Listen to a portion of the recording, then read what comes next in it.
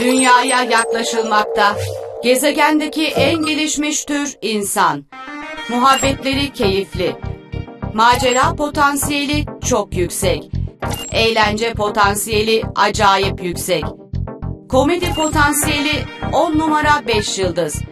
Tam varış tarihi 6 Ocak. Rotayı onaylıyor musun? Seyahat onaylandı. İyi keşifler Zobi.